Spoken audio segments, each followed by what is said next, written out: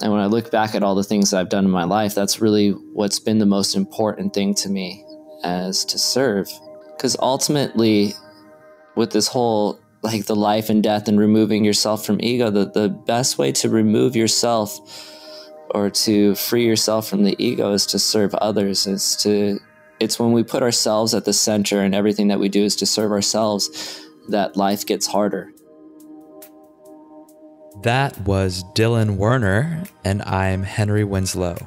You're listening to Dharma Talk.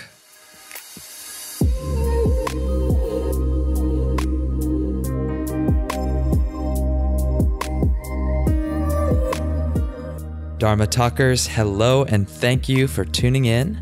This week, as always, it's my pleasure to share an interview with a yogi I respect and admire, living his purpose with all his heart. What's different for me, that is, is that this week I'm recording from Puerto Rico because I've just moved out of New York City and begun a new chapter of travel and discovery. Of course, I'll be missing my yoga family in New York, but as Dylan and I discuss in this episode, there's a significant difference between connection and attachment. So I'm reckoning with that balance now, and there's more on differentiating the two to come. But first, please take a moment to subscribe to Dharma Talk if you've not done so already. And if you have, please leave a rating and review. Makes a huge difference to help support me in this endeavor and get more people listening to the podcast. Also, you can always just share the episode with a friend. If you feel like this could really help someone, then send it over and let them hear it. And of course, if you have the financial means to make a donation, I always appreciate those. It helps to keep this project up and running at a high quality. And now I'd like to say thank you to our generous sponsor this week. This episode is brought to you by Jennifer Brodsky, an avid listener of Dharma Talk. Jennifer serves as a yoga advisor at Pure Yoga NYC, a studio known not only for its world renowned teachers, but also for the premium oasis like experience they offer in busy New York, complete with spa quality showers, lounges, and other deluxe amenities.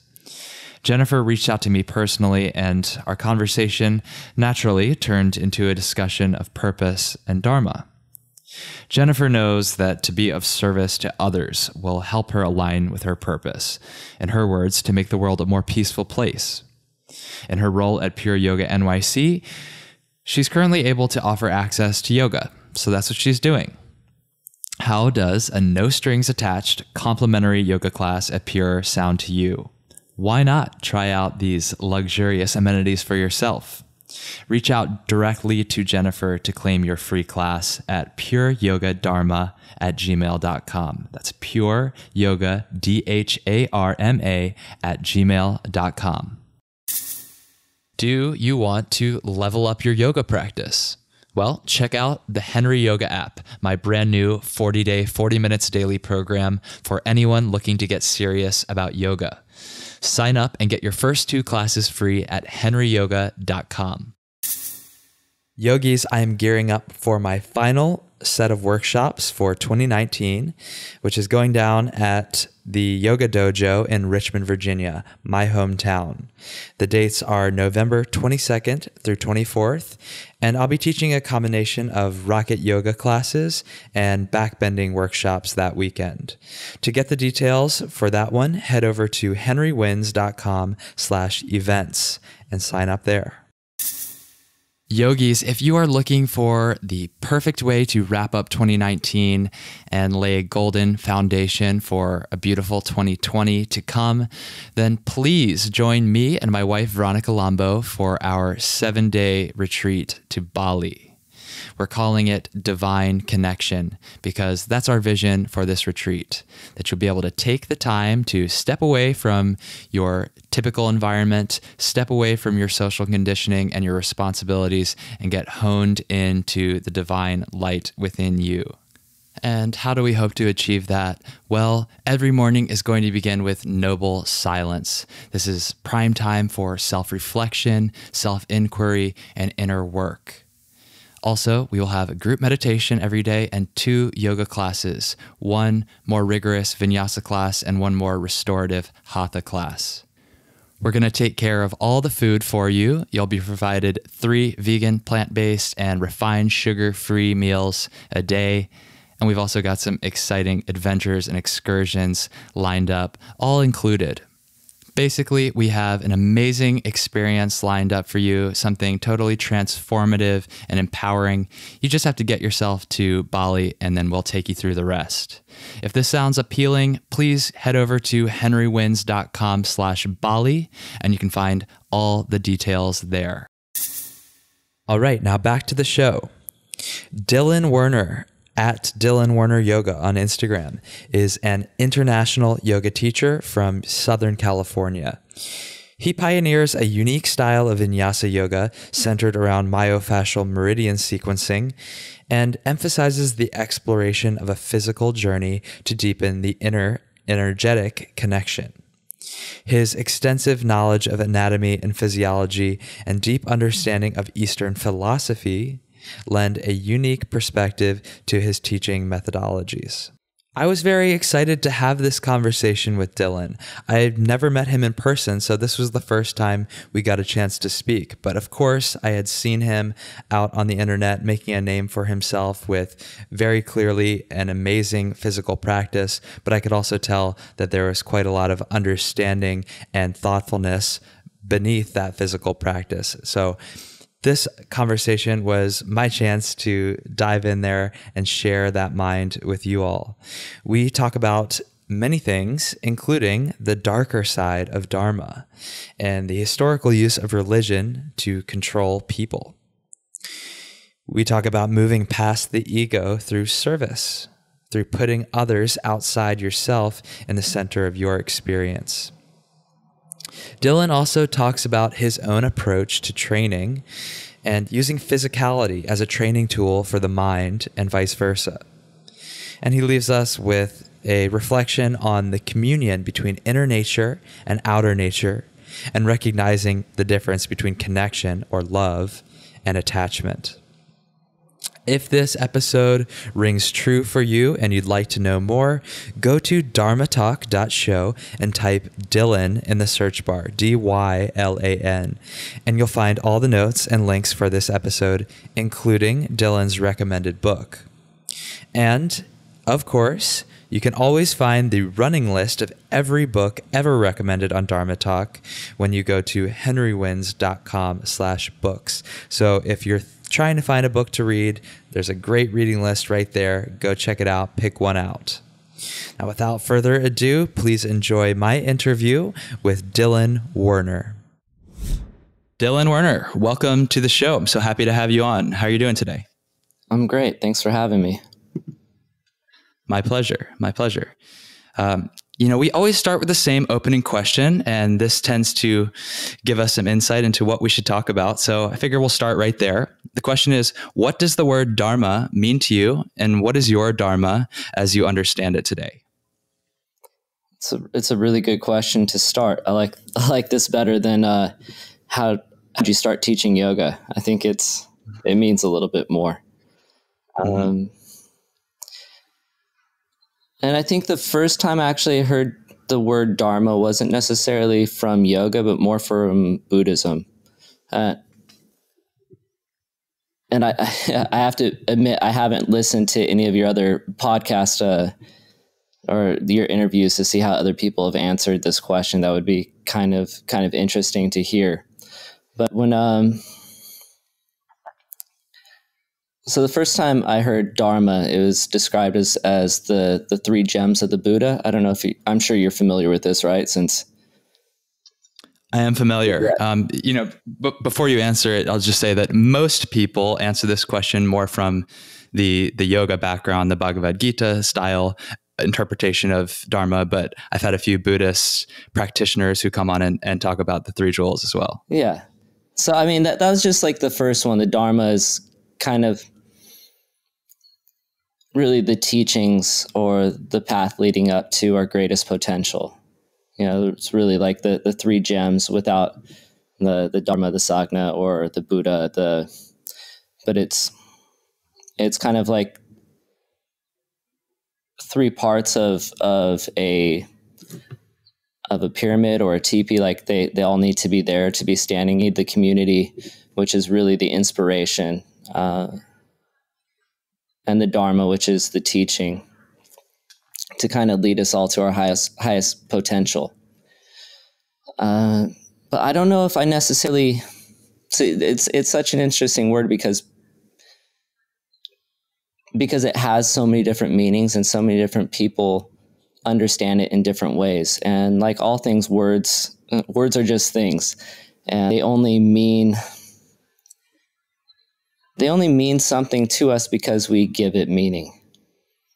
And this, this is something I actually talk about a lot, and I think about a lot with with different words like love or fear or I mean, dharma is one of those. Uh, it's we take our entire lives, our childhood, our experiences, our family, and whatever whatever we've done, and we create our subjective truth, our subjective reality around all things, and then we cut that truth with our own with our own life.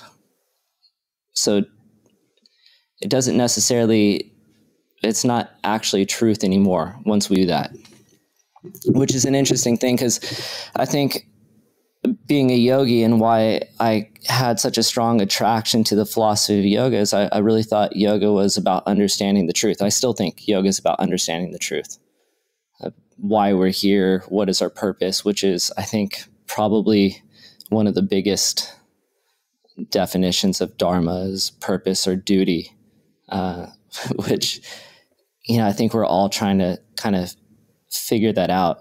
Why are we here? What is the meaning of life? And if life only has the meaning that we give it, then what does that mean for me? And so if I if I create that meaning, then I think my dharma really is to share whatever that meaning is. Because that that's ultimate purpose in life is to share, to to grow the community. And it, so then it kind of comes back full circle to the whole Buddhist philosophy of what Dharma is. If that makes any sense, I don't know. Kind of there's there's so many different ways we could think of that. Yeah. Yeah, and, and I find that the more we look at different interpretations from different schools of thought around these big ideas, even when at first blush or like the superficial level they seem to have different meanings, you can tease them back to some sort of universal truth. And you know, if if yoga says the dharma is our purpose or that it's our duty or role to play, and in Buddhism, it's about a teaching that brings us to our highest potential. Like, where can we look for the overlap there and see what that really says? I always find that you know when different different lineages reach a similar conclusion, that tells me something about getting close. Yes, I mean truth is always going to be subjective and objective truth may be impossible to reach, but that's a little bit closer to objective when multiple right. Schools agree. Yeah, this this is something that I've been the the whole truth thing that I've been talking about and sharing in in my workshops and in my writings and everything is about the understanding of truth, the subjective, the objective, and as um, uh, Yuval Noah Harari talks about a lot in his books, the the intersubjective, which is a really interesting thing to talk about. I don't know if you've read any uh, like *Sapiens* or *Homo Deus* or any of those books. I read *Sapiens*. I haven't read any of his other work. They're they're all pretty good. It's all kind of talking about the same thing. Um, well, yeah, I think that all essentially the underlying message is all the, is all the same. But the, there's he mentions in there these three different types of truths. And I think it was the first time I really started thinking about intersubjective truth, which is um, intersubjective truth just means if we all believe in it, then it's true. But it's only true because we believe in it. So things like countries, borders, money, even titles, these are all things that uh, mm-hmm. that once we stop believing in it, they they no longer exist so you know i'm in london right now and right now london or at least the uk is part of the eu and that's about or could change here pretty quick at the end of the month. If anybody follows world politics and they, they've been following Brexit and stuff, it's a pretty big thing over here. Uh, yeah. You know, so there's there's a lot of things that could change just by policy that that changes in the truth of what we believe in. But the really interesting thing when we we come back to what truth is, the, the ultimate idea of truth in yoga being union and connection, and I think this is really the the absence of separation. Uh, to understand that there is no separation between things is the ultimate truth. That when we look at intersubject truth, that every single intersubjective truth is actually something that creates separation. So countries create separation, borders, you know, money creates separation, even things like titles like doctor or lawyer. They, these are things that separate somebody from something else based on some sort of criteria. Right. Yeah. I mean, it's there's one way to look at it, which is all of these intersubjective truths, these things that we collectively agree to and ascribe meaning to based on our agreement. They establish rules for us to be able to talk about the thing that is all one, right? It gives us some sort of language to to just operate within the higher level truth of the absence of separation. But we can also get so wrapped up in it that it overcomes our understanding of the higher level truth. And that's, I think, where it gets right. dangerous. And, and as we were kind of mentioned before, like with the subjective truth, or we even know objective truth, which is, I, I really believe, is an impossibility. But as close as we could come is to understand that we are seeing things as we are, no matter how hard we try to see things as as as is. You know, to truly remove ourselves from the picture is an impossibility because we're the ones seeing. You know, it's um, I don't know, maybe that that's kind of the the pathway, the goal, or maybe some people have got there where they're able to truly remove themselves from ego and no longer have the subjective experience. But uh, I know, at least in my journey, that's something that is so far, so far away from being completely uh, removed from from the ego. And also, I think part of my ego in there doesn't doesn't want to remove the I from existence. And I think uh, the the pathways that we see with with a lot of Eastern religions you know buddhism especially is and, and, and yoga as well but especially buddhism is about removing the i or as, ascending this. Because that when we remove ego in the sense of i the transition towards death or the, the ultimate you know the end of our life is a lot easier to accept when we when we don't put ourselves in that. It's kind of like i don't know i've been thinking a lot about like death and stuff lately, or more than more than probably normal. Um, with the just understanding mortality and and how do we live life and approach it. And um, I don't know if you've ever read uh, Siddhartha. Um, the story of the Buddha. Yeah. I actually have not read that book, but um, but I also think it's important to consider death. I think it should be part of, well, I don't know if I say should, I should say should, but to me, it's an important part of my contemplation practice. What led you to start talk or to start thinking more about mortality? And maybe that's where you're going with yeah. the reference to Siddhartha. Yeah. Well, I think it, it, in the Buddha's case, when, because the Buddha was, or the story of the Buddha, anyways, was he was a, a, prince and he was kind of like subjected to the palace and was wasn't able to go out and see the world so much and just was like fed philosophy and everything. And then one day he kind of escaped from the palace and went out and he saw sick people and dying people and, and all these things. And he had all these the, these questions, which were like, you know, how can we ever truly be happy if we know that we're going to be sick? Or how can we ever truly be happy if we know that we're going to die? If this is our ultimate faith, how are we able to live our lives in a, in a free way? And there's a lot of a lot of a lot of different ways that people look at like what's the meaning of life or or what we what are we trying to accomplish in our life as far as a feeling or an emotion? And one you know a lot of people would would say that life is about being happy or at least as far as like moving through life to feel happy. Or another way to say it is life is about uh, alleviating suffering in yourself and in the world and and all things. One of my teachers he uh, very wise person shiva das. He he talks about you know what what we all need in life is is really the feeling of being whole. And kind of everything that we do is is to this to feel like we're whole. And i think there's a lot of a lot of my life uh, of growing up and that I, I, I felt more like I had a hole in my life that needed to be filled with something rather than fe- feeling whole. And so I was always out trying to pursue different things to kind of fill whatever that was in my life that was missing.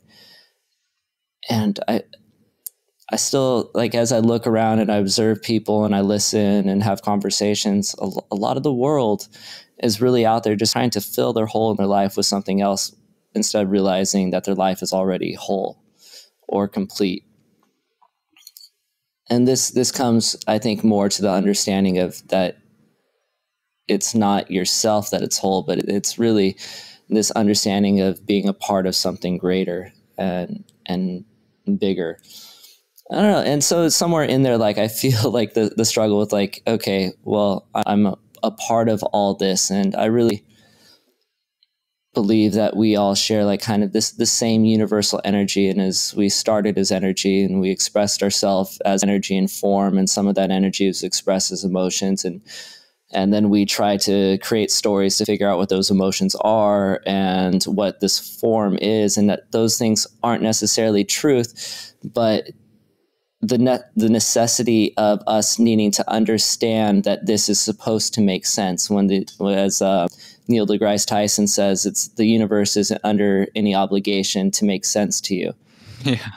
but yet we feel as though we need we need this understanding and it, it puts you in a in a place of like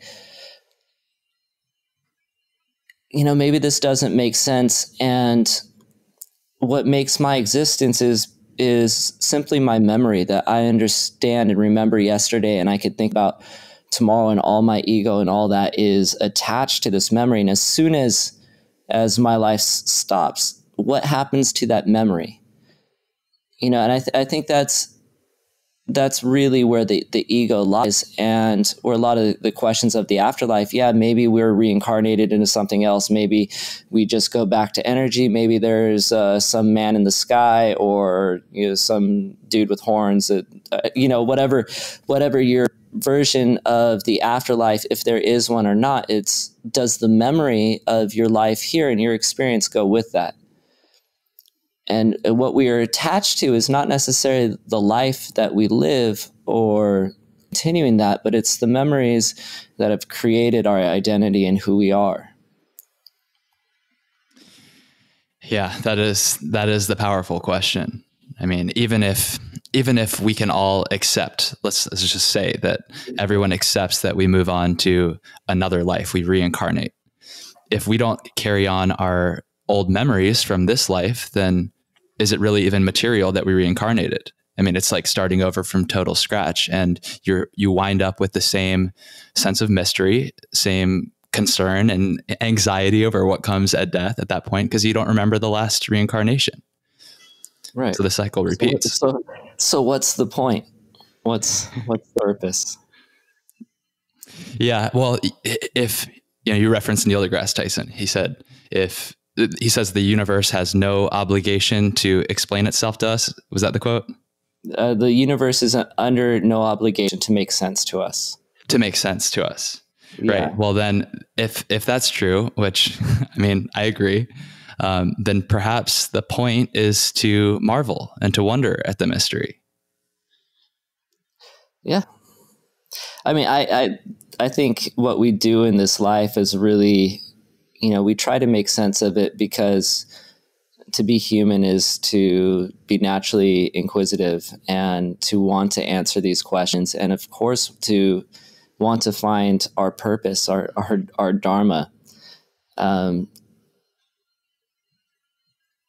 you know, religion, especially like the, the, in the Hindu, or at least uh, like old Hindu religion, or which is really just a, a, a bunch of religions together, but they use this this word dharma so much as a form of control to the people, and so I think it, you know, even to think about purpose in the sense of dharma in that way, it's uh, it's a really almost a dark word. Hmm, this is interesting. Yeah, let's go down this thread. Uh, have you have you talked about this before in, in, in, a while? I'm sure you have. You've had to like. I, I, I don't think there this conversation has come up around it being a dark word meant to control people into you know perpetuating their their position in society but this is this is really interesting and it's you cannot divorce the teachings from the context in which they came up and that was certainly a factor then with the caste system and all of that yeah so it, it's it's kind of one of the things that I have a problem with a lot of religions and stuff in there. And of course, like even I'm I'm not a religious person now. I'm not a I I don't have any faith or believe in any faith, but I I I used to have have a faith, which is which is an interesting word in itself when we talk about God, faith. Uh, but you know, one of the things that's beautiful is we're I was thinking about this actually yesterday. I was scrolling through Instagram and I was looking at some different teachers on how they teach things and how they teach things so different than the way that I would teach them or that I do teach them. And of course, as, as any teacher, you know, you're a teacher, you teach what you teach because you have a strong belief in what you're teaching is the best way. Mm-hmm. But one of the beautiful things about having so many teachers is that there's there's a lot of different ways to do different things, and it all comes from some sort of practice. Uh, it, it, it comes from your own own experience to do that. So I, I really I really respect everybody's ideas to believe whatever they want or to teach whatever they, they want. And this is again all of our own unique subjective experience where we're just inserting ourselves into reality and in whatever way that we fit. But so, um, yeah, coming from somebody that used to be religious to not, I, I definitely see religion in, in a very different way. Uh, before I offend a lot of people, I think there is a, a, a, difference between people that are religious and people that have faith or believe in God. Because if there is a God, then that all comes from God or whatever higher power. And religion is something that comes from man, something that we created. You know, so is that we just again, it's us trying to explain how our form is being expressed in this universe. You know, how how is it? And where are these answers? And so we we make up stories, or maybe stories came from a divine way or whatever. But somewhere in there, a lot of these religions, and they're not all right because they they all well, a lot of them contradicts each other in a certain way, but a lot of them were really used, especially historically, to control the people. Mm-hmm. And and Hinduism with with the different caste systems was definitely one of those, and the, the Dharma was one of the ways that that was used the most to control people, and so they thought of it as like if you're in a lower caste, and I don't know if you if I'm going to do lots of name dropping, but most of these people are dead that I name drop. Uh, um, but like Joseph Campbell, he's he's yeah. one of my my favorite people to like read and listen to his, his old talks. He, he talks about yeah. the caste system in India is basically being like uh, like high school, like freshman, sophomore, junior, senior. For for the Americans listening, I I, I realize now because I'm hardly ever in the states and a lot of my audience is outside of America that we that not everybody understands American culture. even though you think they would with with all the TV and stuff, but uh, yeah. So like when you're a freshman in high school, you know that you're going to get hazed and picked on, and it's just kind of comes with the territory. When I was in the military, my first six months or a year is kind of being new and, and a lower rank, they there's a lot of hazing, or at least there was back in '99. And then um, when I was a firefighter, you know, going through the probationary year, it's it's kind of like you know it's going to be shitty, like life.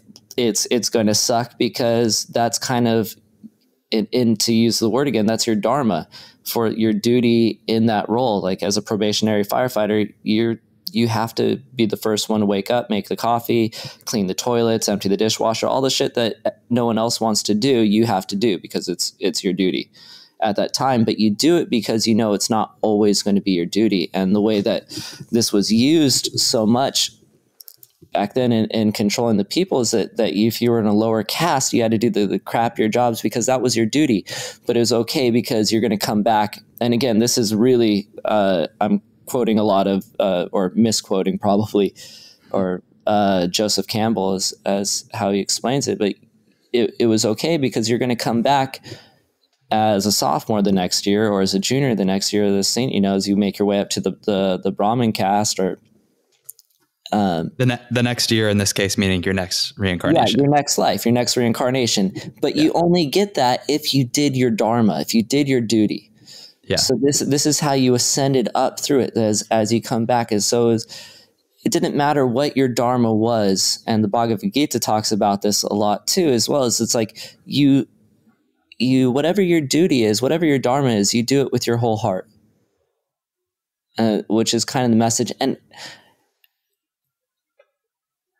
and when so when the, the dharma is given to you, that's I think that's where we get into trouble. And if we think that our duty could come from someone else, anyone else other than ourselves, we're being controlled. Especially when we're told, like, okay, this is your Dharma and you need to do it. You're like, well, why is this my Dharma? And who told me? And who are you to give me this? Mm-hmm. Versus, you know, I think one of the hardest things in life for most people's is really to find out what is what is my meaning? You know what what am i here for? What am i here to do? Like and because I, I, you know that leave uh leave the world a better place than than how it was from when you came or mm-hmm. however that quote is i think that most people are, are trying to do that we're trying to leave the world a better place and we do that by sharing our Dharma. Yeah. From the Bhagavad Gita, I, I, do like the part about you should give your whole heart into whatever it is that you do. The the part that's a little more difficult to swallow is that it can be ascribed to you without your consent or without your deep internal knowing that that you want to. And they they kind of catch 22 at that is how are you supposed to give your whole heart into something that you don't have your heart in? It's like chicken or the egg. It's impossible to give your heart into something that that you don't choose i think. And what comes with that is that there's going to necessarily be an evolving understanding of that. I mean, l- look at you. I mean, you were in the Marines, you're a firefighter, you're a pastor, and all of that, it, uh, correct me if I'm wrong, was before you even started teaching yoga and and now you're doing this thing that you can share with total heart and maybe you shared those other things with heart too but at a certain point it was time to move on yeah and and and for me a lot of a lot of the moving on was chosen for me uh, oh interesting you know How when i mean? when i was like for being a firefighter I lost my job. It wasn't a choice to to go from firefighter to yoga. I mean, it eventually was a choice, but after I got laid off, then it was like, okay, well, what do I do? I always wanted to be a yoga teacher, but I wasn't. I didn't have enough courage to leave my my good paying job to go out and and struggle as a yoga teacher. Not that I struggle now, I, I don't.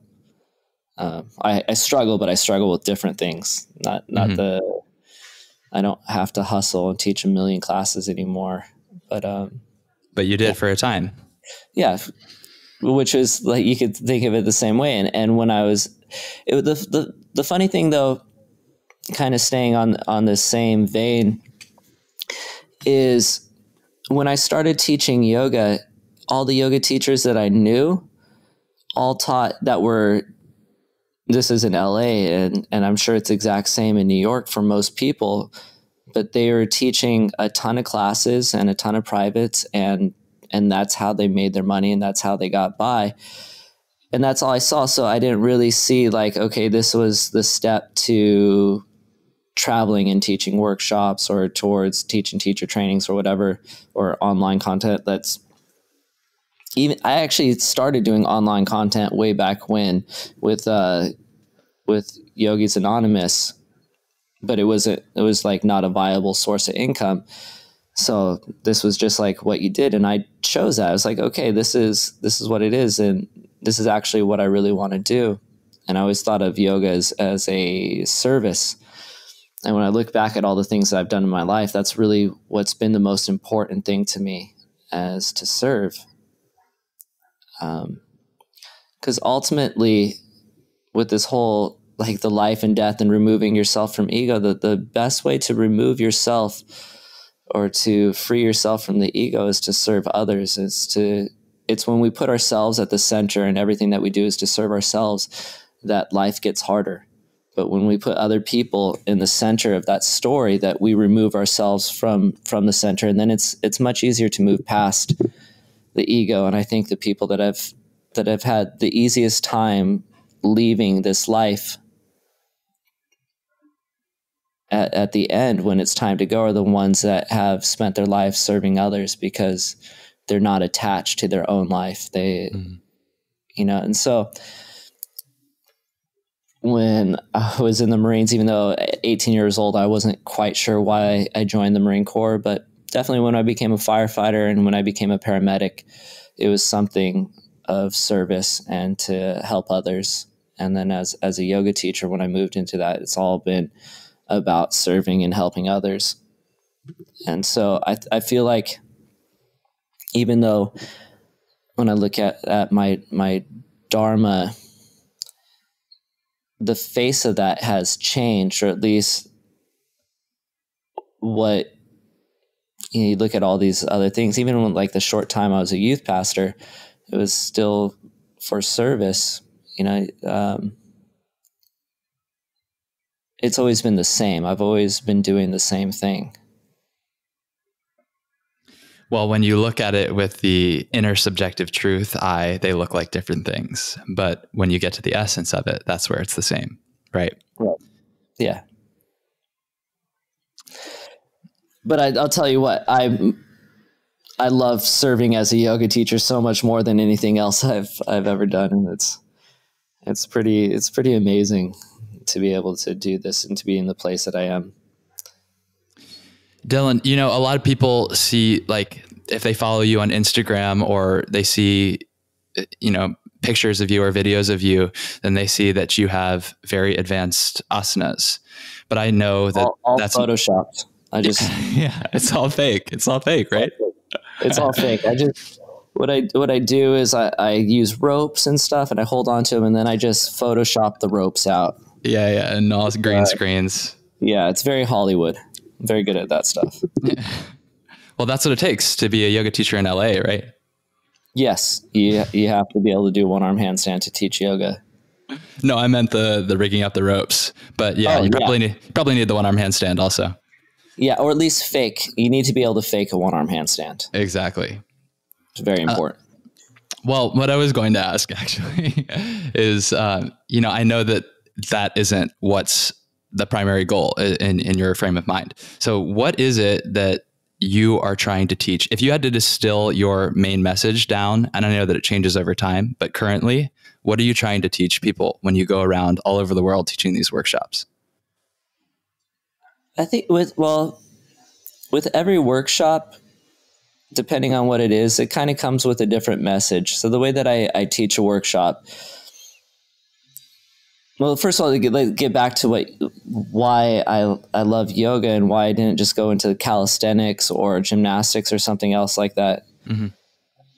Because I, I really think yoga is the understanding that it's all one. You know, the the mind, the body, and the nature, the spirit, or or whatever you want to call it. That there isn't a separation between those things. And as we move through and we we practice our tapas, all all those build together. So when you strengthen the body and you do your physical practice, it strengthens the mind as well.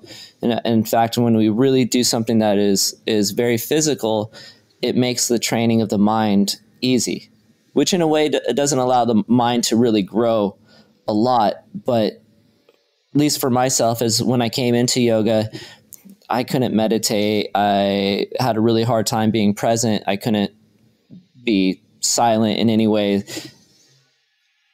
My mind always wanted to be anywhere else other than here, and I was I was addicted to not being here and the physical practice and it wasn't just the physical practice but it was the physical practice with the intention and so when i when i combined those two things i always did physical things whether i was I, you know, I was a wrestler a rock climber I used to run and but it was when i when i took those two things the, the physical practice with the intention to be present that i was able to start to understand the the unification of all things, or at least understand the truth that they always have been that way. And I, for me to get to that level through the physical practice, my physical practice needed to be really strong. And I, I believe that the stronger your physical practice is, doesn't and, and that's all subjective to what is challenging for you. Uh, so yeah. for me, I needed something that was challenging, which for a lot of people looks like really really physical but it, it's just my experience and you know this morning I, I, woke up and i start my day with like a little bit of uh, elasticity work just stretching moving and then i move into like my handstand routine which I, I start the routine with 50 handstands like and then a bunch of one arm training and I, I go through all these things where maybe a few years ago it would have been super difficult f- for me, but because I've been doing it so long, it's it's actually not that challenging. You know, so I, I continue to push myself more because it allows me to focus more on my mind in an easier way. And my, my other practice of, of meditation, where the body is completely still, it makes it really challenging to on the mind Mm-hmm. And so wherever there's more challenge, there's going to be more growth. But like anybody starting something, you start at a, at a beginner level. And for me, it was the being really strong or having a really strong physical practice was the beginner level for the meditation practice for the mind to be able to be present and calm itself and without using those things as a tool i don't think i could ever have made my made my way towards uh, meditation practice, which I think is, you know, it's, it's the both of those have the qualities of sthira and sukha. There's there's an ease and an, and an effort, and they offset each other.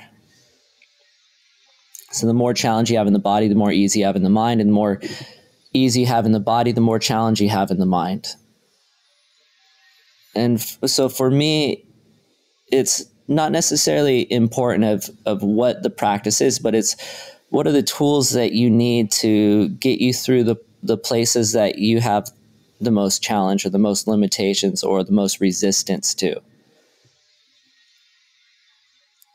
And that, for me, that just manifested as a really strong physical practice until I was able to move towards a meditation practice.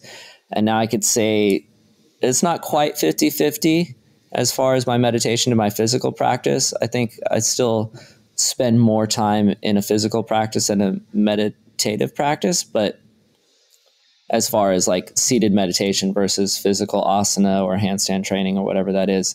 Mm-hmm. But uh, ultimately between the two practices i'm working towards the same goal. And so in in my workshops what i teach are tools. And and that's it. There's every, a pose is a tool. It's not a destination. It's not a goal. It doesn't do anything unless you know how to use it. And even if you're moving if you move through alignment and you think of a warrior one I, there's no purpose of that shape other than what that shape does for the body. And ultimately what does that shape do for the mind as well or for for any pose for any journey when we when we come into that? So i i don't know. I guess my my main message to people is to understand the intention behind everything that you do. And when you truly understand that intention then it comes with a purpose. And then you're able to use it in a way to bring you to the place that you ultimately want to go excellent yeah, I mean that sounds good, right? That's that's, yeah, that's very well said. Uh, there's there's the physical plane and there's the mental plane, and I I'm right with you with using a physical practice as a way to basically force your mind into stillness. I've experienced that. I'm sure many people listening have experienced that. But yeah, you have a very strong physical practice. Thank you. Um, but you know, there's there's another layer also. Um, there's physical and there's mental, and well, depending on how you interpret it, maybe you consider this to be part of physical or part of mental. But there's the energy layer too. Um, right. How how does that fit into your teaching? How do you consider that?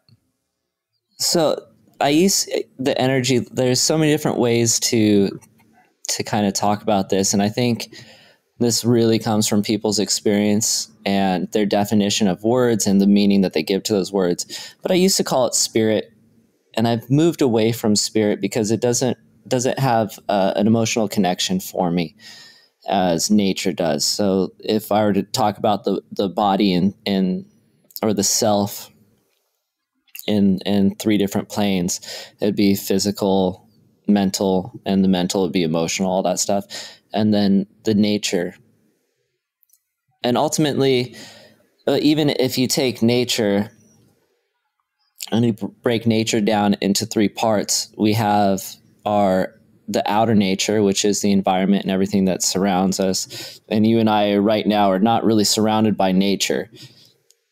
You know, you being in, in New York in the city and, and me in London, there's it's hard to find actual nature. And what we see is just kind of things that separate us from nature, mm-hmm. um, which is, I think, why I spend so much time and so much effort to go out into nature and to take long vacations in nature where I'm able to be there and meditate. Because after outer nature is the inner nature, and the inner nature is is the understanding that the outer nature and our is the same as our inner nature, that there's not really a difference.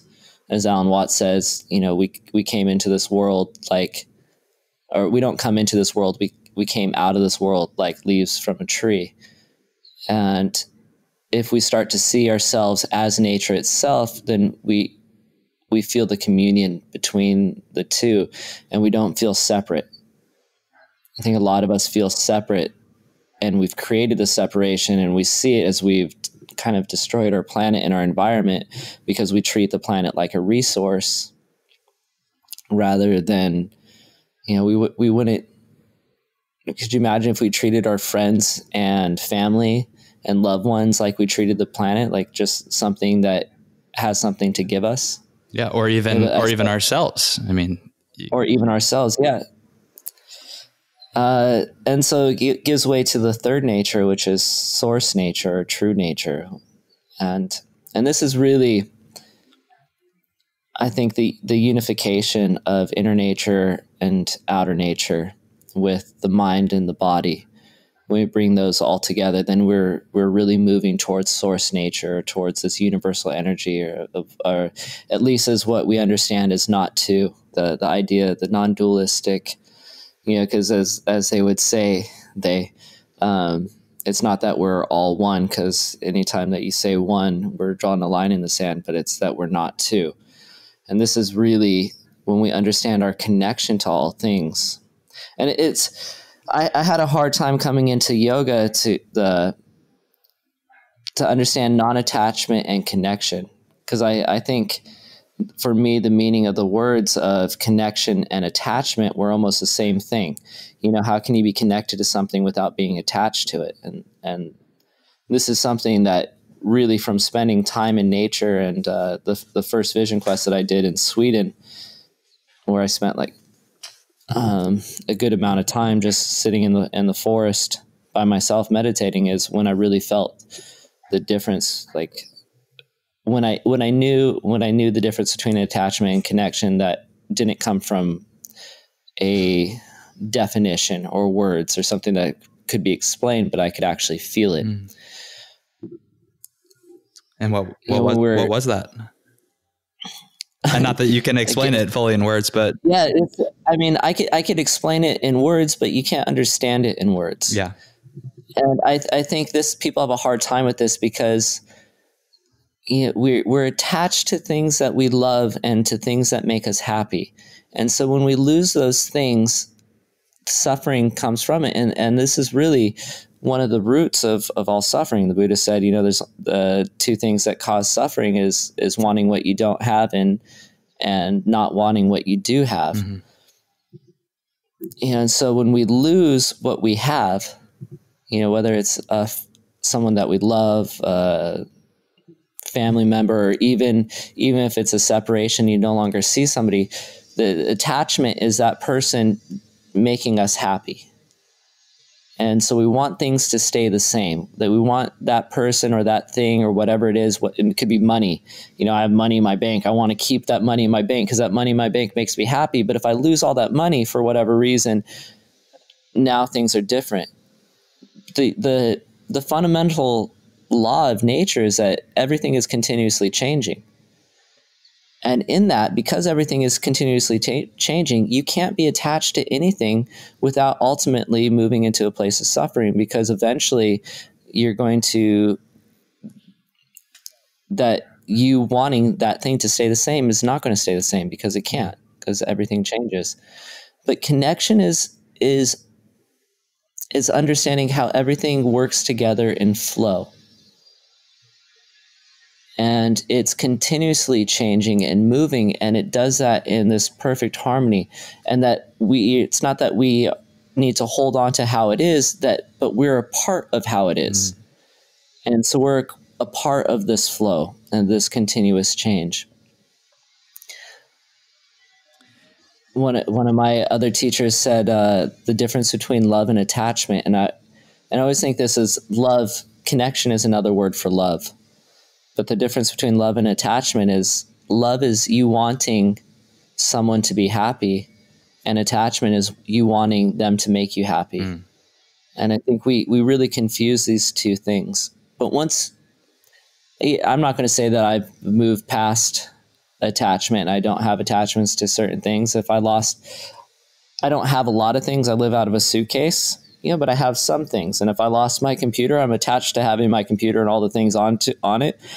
I'd probably be pretty sad about that, you know, to lose all my photos and everything, you know. So I'm definitely not beyond attachment or family members. If any of my family members were to pass on, I'd, I'd be sad. I think that's a very human thing. But also in that, I understand that that attachment is only going to come with suffering. But one of the things that this practice this understanding has led to, and which is especially important in my life, is not missing people so much uh, because I'm always on the road and and changing. If I if I was attached to all the people that I was around, I would constantly be missing people, which would in in turn not allow me to enjoy wherever I am or to be connected uh, to the experience that I'm having. What other ways has this deeper understanding of the difference between connection or love and attachment practically improved your lifestyle?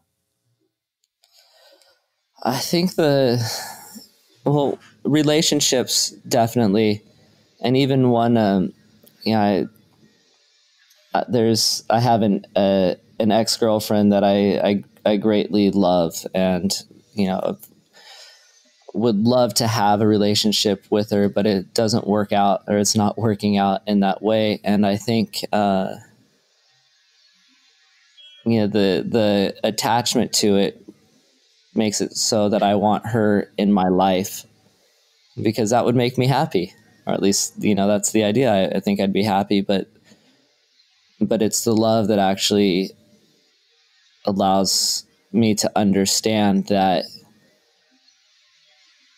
I, I'd rather her be happy and do what she needs to do rather than me be happy because having her in my life would make me happier. Mm-hmm.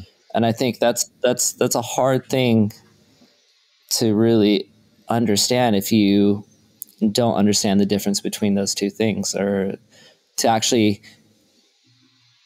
despite, you know, the the illusion of separation between the two of us that her being happy will ultimately also make me happy whether it's with me or not because I love her.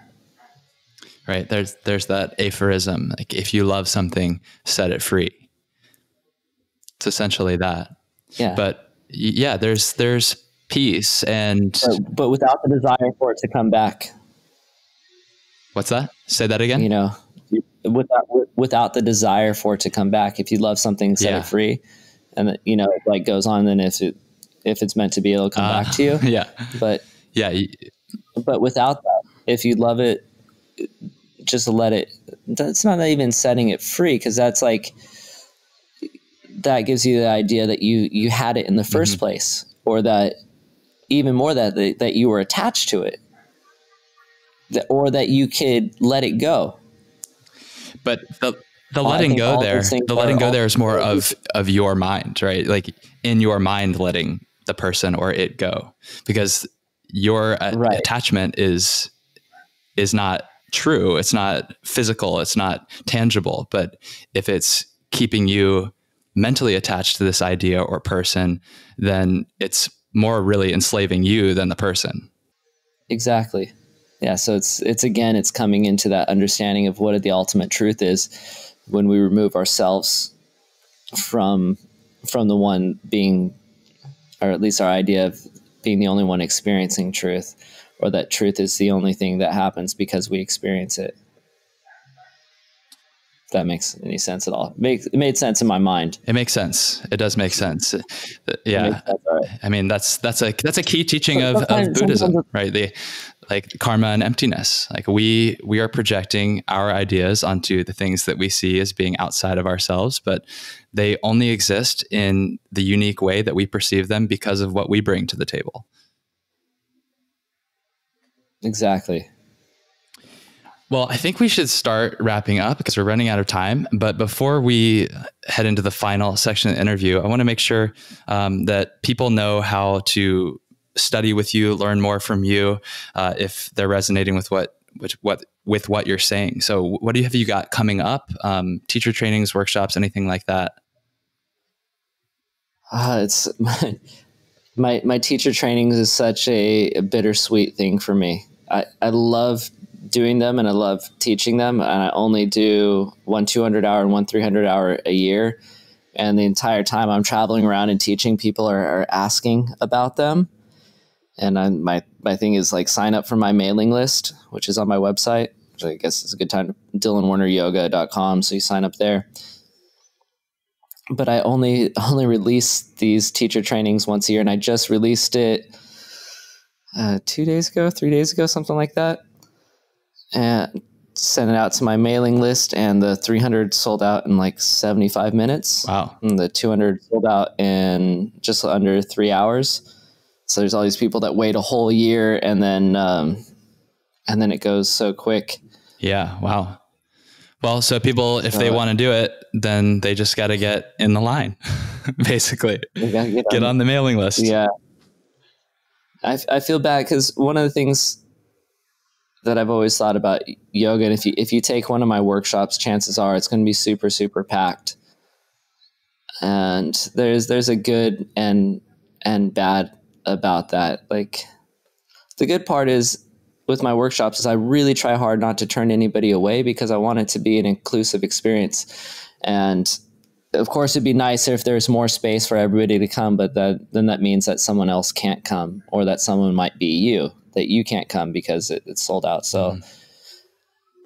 So with those, I try to get as many people in to have the experience, and maybe it's a little bit less experience than they'd have if there's only 20 people versus 100 people. But I I stay as long after to give everybody as as much of my time as I possibly can. But with my trainings, I keep them I keep them small because it's really important to have that one-on-one time and experience.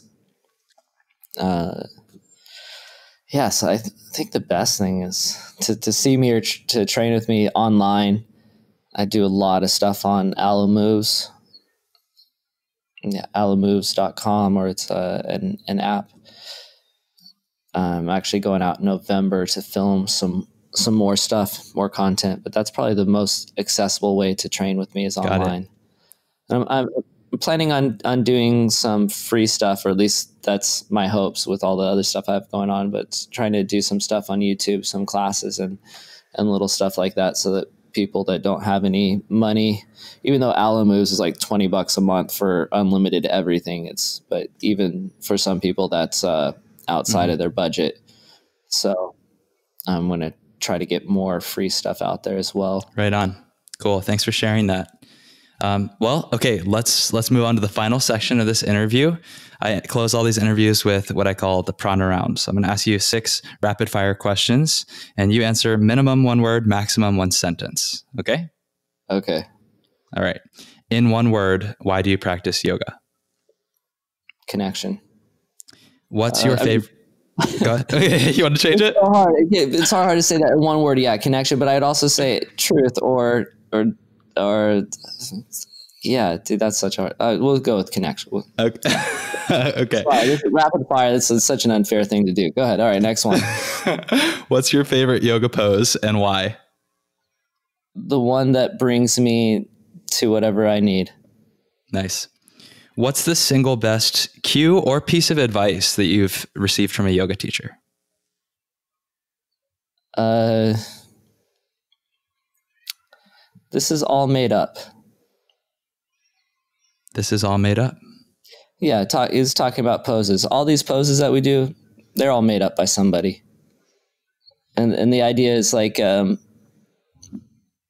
we take things so so serious or we move so much into the dogma of a certain pose or certain alignment and we really just got to remember that yoga was made up by somebody these yeah. poses were made up by somebody and that yeah.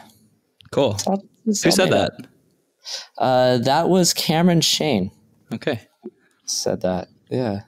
All right. Recommend. it in a different way. I don't know if you know Cameron Shayne but he's a bit more colorful. He's a bit more colorful with the things that he says. But yeah that's I can use my imagination. yeah, but that was the basic idea.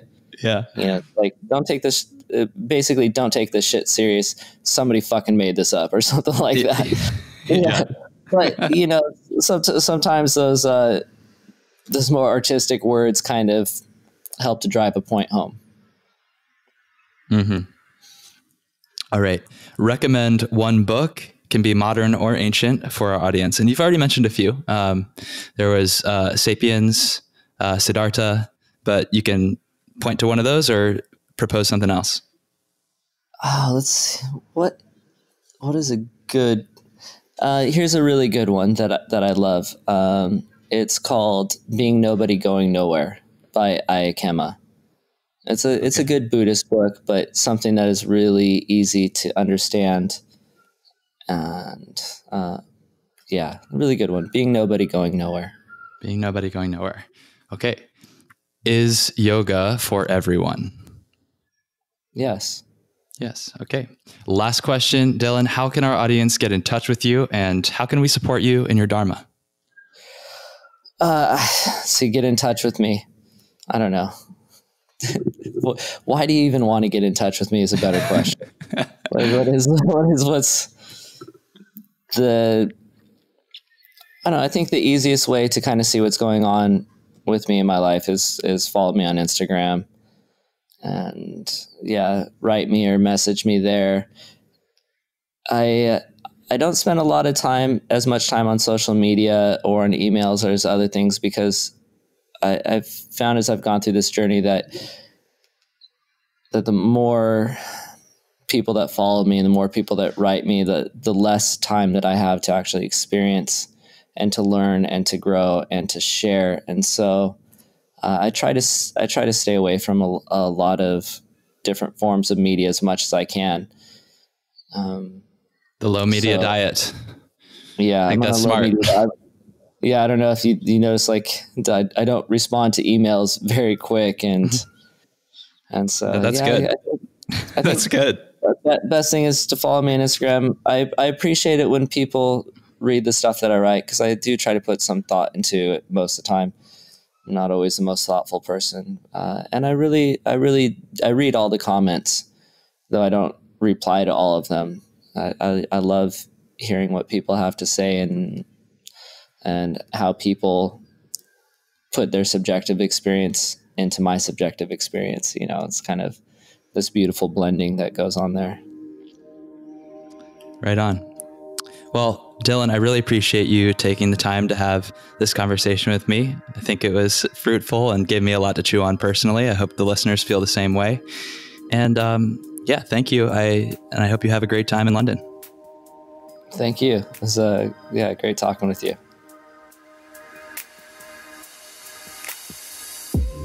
Dharma Talkers, I hope you enjoyed listening to that conversation as much as I enjoyed having it. And if you did, please share it. Take a screenshot, share it on Instagram, and tag me at Henry Wins. I love hearing from you about the conversations that make an impact for you. We have the ability to shape the world through our thoughts, words, and conversation. So let's influence the collective consciousness together. All my gratitude to Rory Wagstaff of Ease of Mind Productions for keeping our audio crisp and operations smooth, and to Patrick Kiebzak of Momentology Music and Art for supplying the powerful soundtrack to these conversations. Please remember to subscribe, rate, and review, and tune in to new episodes of Dharma Talk every Thursday. I'll speak to you next week, and until then, keep living your Dharma.